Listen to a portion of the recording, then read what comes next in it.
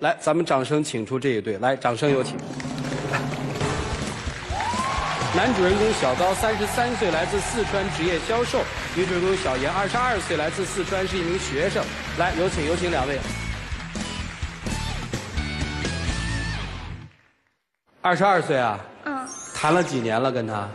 一年。怎么了？就是那个，我们刚开始的时候，我们交往的很好嘛，然后他对什么事情都很迁就我。可是到后来的时候，我俩本来年龄就差距很大，然后就产生了很大的代沟，在一些什么代沟嘛？就是你不懂事。我哪里不懂事儿啦？因为就是有时候就是他的问题，他却老是讲就是我的问题。我们俩在那个生活方式、兴趣爱好的时候都产生了很大的分歧。你是在面试人家的时候切磋上的是吧？当时他来面试的时候嘛，我看他。长得挺清纯的，反正挺可爱的嘛，就是我心目中喜欢的那种女孩。然后我就在以后的工作中有事没事的就去找她嘛，和她一起吃饭啊这些。然后慢慢的就是我们的感情就从同事关系就转变成了男女关系了。现在不想跟她好了是吧？他做做什么事情，他都不为我考虑，只顾着自己的感受，从来不在乎我的感受。就有一次，我叫他帮我买金鱼嘛，我特别喜欢养鱼，结果他给我买的那个鲫鱼，我家的鱼缸本来就很小，然后他来买四条鲫鱼回来，完全就把那个鱼缸全部给我做满了，而且里面的那些装饰甲上什么东西全部给我拔了。他说：“你看那样多那个影响鱼儿那个游啊，你看我把这个东西全部移出来，鱼儿游得多畅快呀。”你感觉你家里就像一个卖鱼的一样，你会是条鲫鱼，明明我要的是那个金鱼。鲫鱼有什么不好呢？鲫鱼我买回来放在缸里。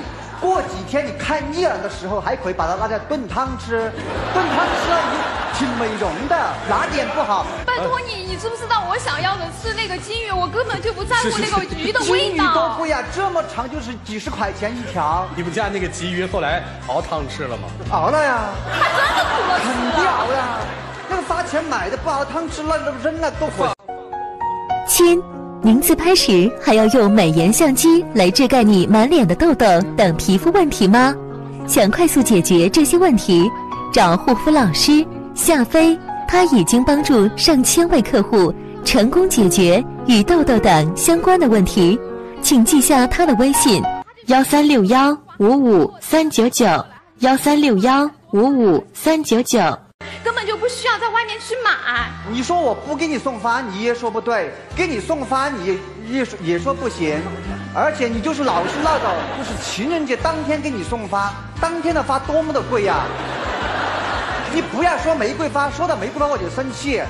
他要求我每一天在 QQ 上给他送一支玫瑰花，如果哪一天遗漏了没有给他送玫瑰花的话，第二天叫我写一百篇。亲爱的，我错了。我工作忙，有时候会忘记啊。我我是人，我不是神仙。你说他一天三顿饭，他记得清清楚楚，怎么没忘记吃饭呀？玫瑰花就没人给我提示嘛，因为肚子没吃饭的话，肚子要饿，他会提示我该吃饭的嘛。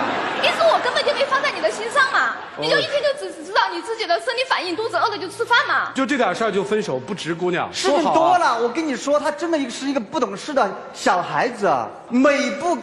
电影就是上上映的时候啊，他就闹着去看电影，挺好。看一场电影，两个人至少花一百，一过夜之后，在电脑上就就能收出来，然后下下来看，你想看多少片就看多少片，精彩的地方还可以回放，然后你买点东西，哎，可以边吃边看，哪点不好，非得要去花一百块钱，你是不是浪费钱嘛？哎哎哎，你这么说，中国电影工业全完了，多你这么几个人，导演都得自杀去。我是说，偶尔可以看一次。他就是一上有新片，一上映他就闹着要看。我知道他那个看电影不用花钱，每次都是我自己在网上把票订好了，我邀请他去看的，他还说你浪费钱。那天上班我知道他很累嘛，我说帮大家都舒缓一下。那他有什么好吗？你这说的都是他抠门不好。他真的就是有时候好的时候也让你挺感动的，就有一次嘛，我犯了一个大错误嘛，就是那个签合同的时候和同事一起出去嘛，我就走的比较匆忙，就忘了带合同。人家那边也催的特急的时候，我心里也特别着急，我就给他打电话，他还把合同送过来了，也没有多说我，因为当时真的急哭了，他看到我也那个挺不容易的。当时因为我很喜欢他，然后就在生活中和工作当中都有事没事的靠近他嘛，反正就追他嘛。所以就这样子变成了男女朋友。我看我这个资料里你是有过一段婚史，女儿九岁了。嗯，对的。什么原因离的婚呢？呃，感情不和。哦，还有什么问题吗？多着了。我看那小片，你不是来挽回的吗？我是挽回的，但是我要告诉你们，他就存在的毛病，要不然他就不知道自己有多么不懂事。